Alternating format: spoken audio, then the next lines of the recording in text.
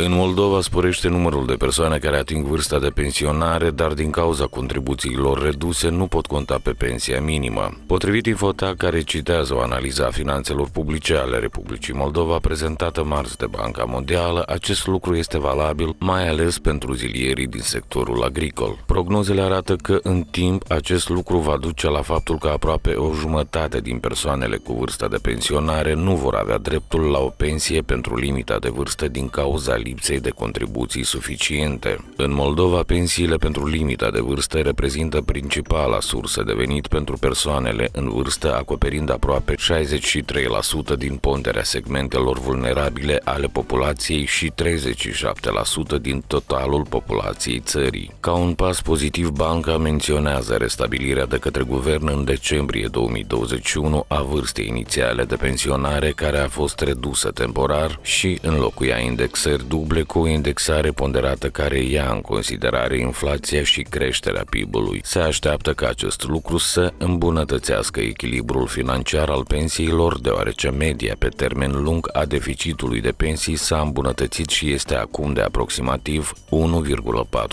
1,4% din PIB. Experții Băncii Mondiale atrag atenția asupra faptului că în sistemul actual de pensii rămân inegalități din cauza pensiilor privilegiate, de exemplu pentru lucrătorii din justiție são militares.